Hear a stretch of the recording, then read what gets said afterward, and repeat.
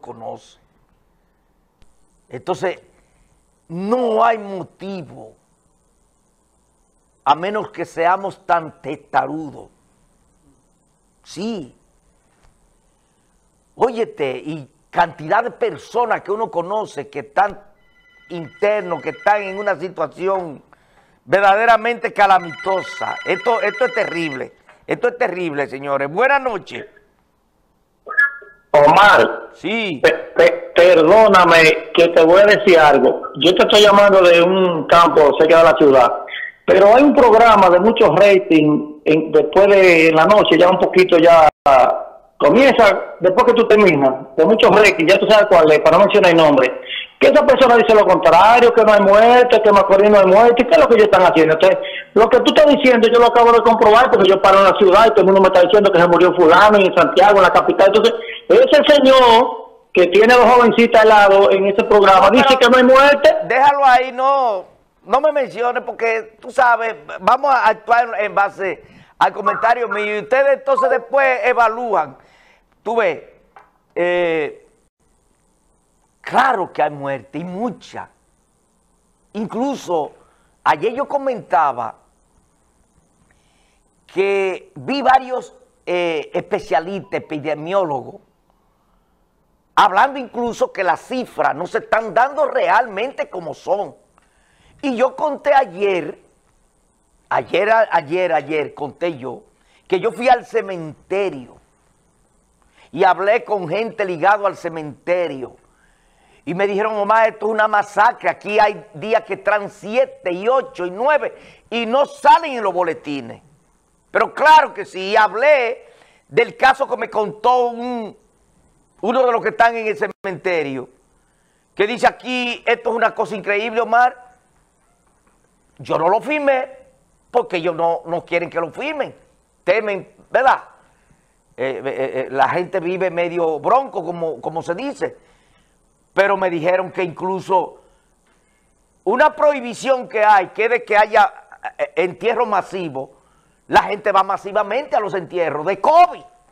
Y que me, me estaban contando que había una muchacha, una muerta, que los familiares la estaban besando muerta, que murió de COVID. O sea, son cosas, ¿cómo que no hay muertos? Aquí hay muertos por pipa en el país. Y, y, y, miren, señores, y yo vi, y, le doy seguimiento a los boletines, provincia por provincia.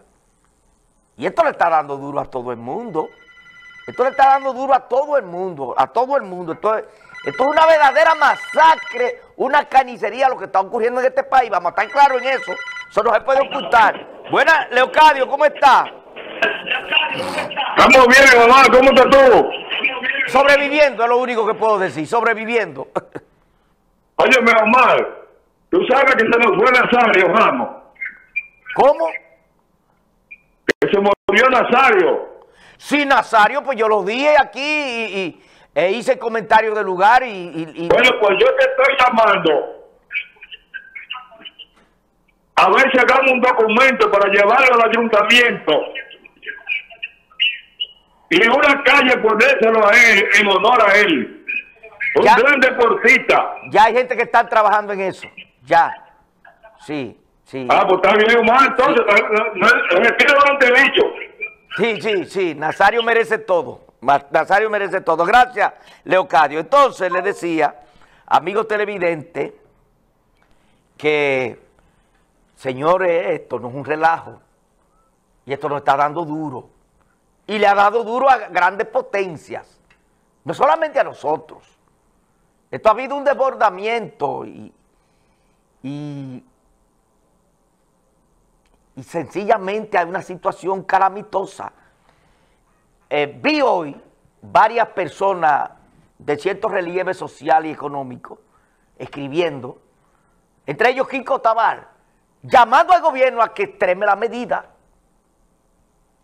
O sea, eh, eh, Kiko Tabar, que fue director de aduanas y de impuestos internos en diferentes gobiernos, Kiko Tabar escribe hoy que la flexibilización ha venido a profundizar el asunto del contagio del COVID y a crear una situación de incertidumbre y está llamando al gobierno a que se tome medidas drásticas, pero entonces cuando la toman, de una vez comienzan que no, que esto, que la economía, que el, gobernar no es fácil, un pueblo como este. Y ya vi varios más, incluyendo el colegio médico, que están pidiendo que se extremen porque esto, esto sea...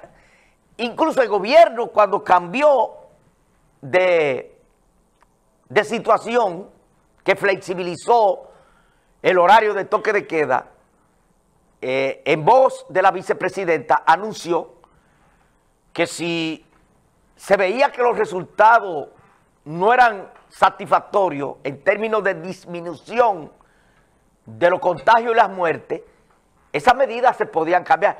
Y le voy a decir lo siguiente, lo que se está viendo es, a menos que se le haya perdido Eh, el amor a la vida, que se haya perdido la sensibilidad, es que aquí lo que hay es una carnicería en este país. 28 muertos hoy, incluyendo varios de aquí de Macorís. Incluyendo varios de aquí de Macorís. De modo que esto no es un relajo. Yo y el periódico El Diario y otros medios, ante la actitud de la gente, del ciudadano, habló de sálvese quien pueda, o sea, que cada quien que quiera salvarse, que se salve, que cada quien que quiera cuidarse, que cada quien que quiera respetar la medida, porque la verdad es que hay un segmento importante de la población que parece que le importa un bledo. Pero tampoco uno puede permitir que ningún carajo a la vela, que no se cuide, quiera contagiar a que se cuide. La verdad es que estamos en una situación difícil. Hoy sale un trabajo aquí de que en febrero, señores, todo hay calofrío. Yo me gustaría que el gobierno tomara eh, las medidas del lugar porque este, esto me da grima a mí. Hoy sale que eh, varios artículos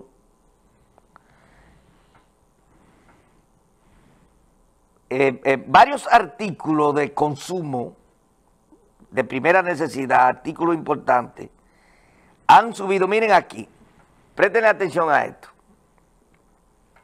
A ver si esto llega, porque yo tenía como problema con este internet, pero creo que sí. Miren, miren, miren, miren aquí esto.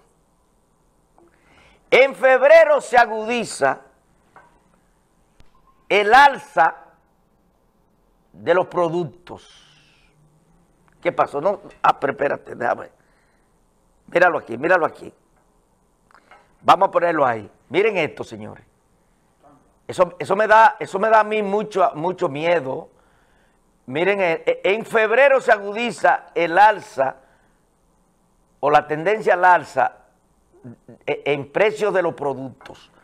Dice aquí, esto se viene y, y hace un, mientras en diferentes gremios empresariales anuncian que aumentarán los precios de diversos productos, tanto de producción local como importación. Consumidores y trabajadores aseguran que no tienen la capacidad de compra, que es cada vez más mínima. Y ahí entonces dice, oigan esto, señores, para que ustedes vean cómo es que estamos. Eh, aumento desproporcionado aumentos que ponen a cualquiera a pensar eh, vamos a ver el agua. Miren aquí dice que aumentó el aceite. Oigan esto. El, el botellón de agua aumentó. Dicho aumento se aplica junto a otros productos como son el aceite de soya de 128 onzas que aumentó de 86 pesos de julio del pasado año a 386 pesos a finales de enero. Oigan eso. Eh, entonces dice aquí, eh, no, 386 a finales de enero 472,99 pesos. Eh, bueno, y ahí van una serie de productos, el arroz, la azúcar, el cartón de huevo de 30 huevos, de que en categoría económica de 133 pasó a 179,40. Y así hay una lista de productos que, miren, esto, esto es una cosa terrible, eso me está dando miedo a mí.